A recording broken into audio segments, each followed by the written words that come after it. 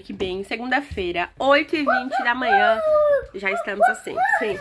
Estamos começando a segunda-feira, começando a semana. Pra você que não sabe quem eu sou, eu sou a Ana, da família Portunhol. Meu marido é espanhol, tenho dois filhos, um de 14 e um de 4 anos, que tá aqui. Fala olá! Dile olá! São as 8h20 da manhã, sim, acreditem. Já estamos neste pique total. E enfim, se você não está inscrito no canal, se inscreva no canal. Que nós todos tenhamos uma semana abençoada. Amém. Vamos começar. Já levei. Já levei ele pra escola, já estou aqui fazendo comida como sempre. Pra quem não sabe, né? É, eu não trabalho aqui na Espanha. Eu não trabalho. Vamos por partes. É... Aqui os trabalhos, gente, são bem complicados de conseguir, viu? Tá bem complicado. Quem fala que tá fácil, eu gostaria de saber aonde que é. Porque, olha, eu não sei. E eu converso com bastante pelo Instagram, bastante brasileiro e tal. Tô cortando batata. Bastante brasileiro. E todos falam a mesma coisa. Nossa, como é difícil, né? Arrumar trabalho e tal. Porque você é um estrangeiro, né? Pera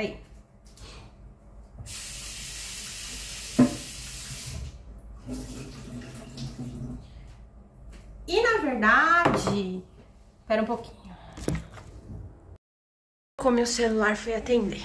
É... Então, voltando pro que eu tava falando, é, que eu não sei onde que é esse lugar que as pessoas falam que tá tudo muito fácil de arrumar trabalho, de arrumar as coisas. Eu não sei onde que é isso.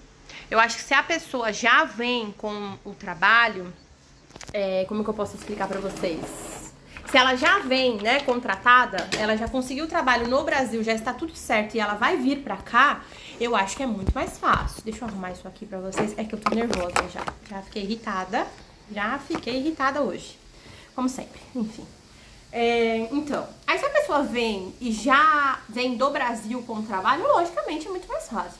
Agora, você chegar aqui sem documento, sem conhecer, sem nada e falar pra mim que tem trabalho fácil, gente, é mentira. Não acreditem nessas coisas, por favor. Mas enfim, não era isso que eu ia falar. Tava falando com vocês, estava até de boa falando, e aí me ligou a advogada agora falando que está recusado, né, o NIE do Alexandre, para vocês verem como não é fácil as coisas. E eu mandei uma carta pro Brasil, a carta não chega, a carta não chega. A carta já faz acho que 20 dias que eu mandei e a carta não chega no Brasil, não sei o que acontece. Estou esperando. E aí, para quem assistiu os outros vídeos, já sabe que o documento do Brasil eu tô dependendo de um ser humano iluminado de luz, para mim não falar outra coisa, que faça a autorização dele, porque o Alexandre é filho do meu primeiro casamento.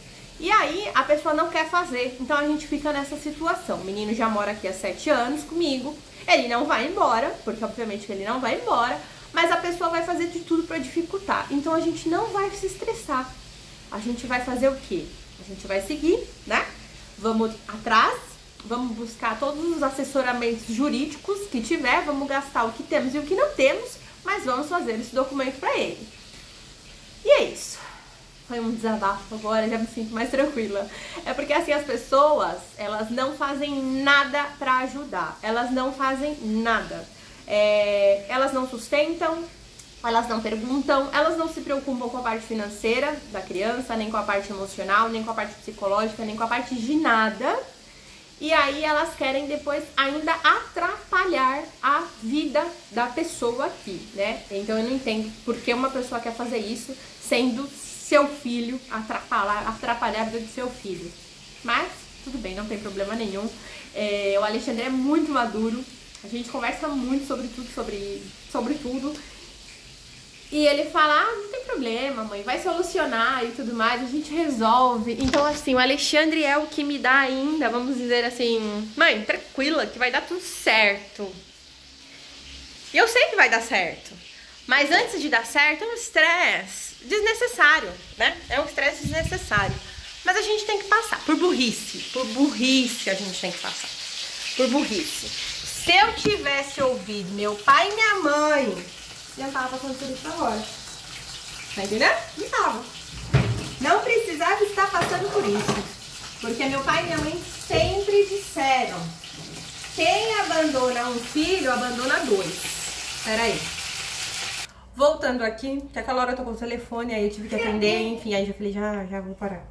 Tinha que buscar ele na escola. É... Meu pai e minha mãe sempre dizia isso, né? Quem abandona um filho, abandona dois. Mas a gente, na idade dos 20 anos, 21 anos, a gente acha que sabe tudo. Aqui tem uma frase que fala na Espanha que na cidade a gente tem vontade de comer el mundo. E afinal, el mundo nos come. E é verdade. Isto é verdade, que a gente tem, a gente fala, a gente acha, né, que, que com essa idade a gente pode fazer tudo, vai dar tudo certo, é, que não, imagina, isso não existe, que o pai e a mãe é pessimista, enfim.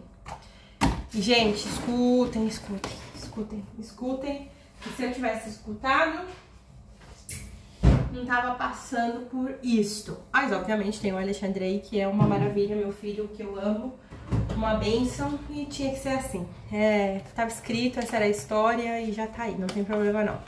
Ah, agora são as 7 horas da noite, minha mãe acabou de me ligar e falou que chegou uma carta que precisava chegar no Brasil. Então já estou mais tranquila. Tenho até o dia 23 de outubro para mandar essa carta traduzida e tudo mais. É, com o pedido, né, do que eu tô fazendo, já que não tem autorização paterna eu tô entrando com, com outro jeito para conseguir fazer. E eu sei que vai dar certo. Tenho certeza absoluta que vai dar certo. Mas a gente fica nessa. Poderia dar certo sem tanto estresse, sem tanta preocupação. Sem... Eu poderia estar gastando menos dinheiro, né? Poderia estar me estressando menos.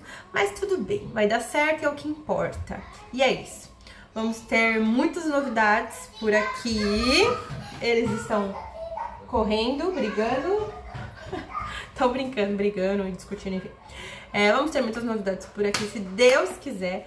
Mas só vou falar mais pra frente, quando tudo já estiver meio que encaminhado, meio que concretizando, vamos dizer assim. Que aí é melhor, né? A gente não tem que falar antes da hora, a gente só fala quando vai acontecer mesmo o negócio. Ok? Esse vídeo vai ser um... Foi mais um desabafo numa segunda-feira conturbada que eu, eu comecei o vídeo numa boa intenção, vocês viram, né? Eu comecei o vídeo falando boa semana, que seja uma semana abençoada, que não sei o quê. Pera, voltando mais uma vez. Vocês viram que eu comecei a semana é, com muito positivismo, muito... Agora tá melhor. Muito positivismo. Vocês viram que eu comecei a semana super positiva, super a semana abençoada e tal. E aí ela ligou, já me desestruturou, sou ser humano. E aí olho no, no, no site do correio, daqui tá em Curitiba, a carta já tá oito dias no Brasil, não sei onde que tá a carta.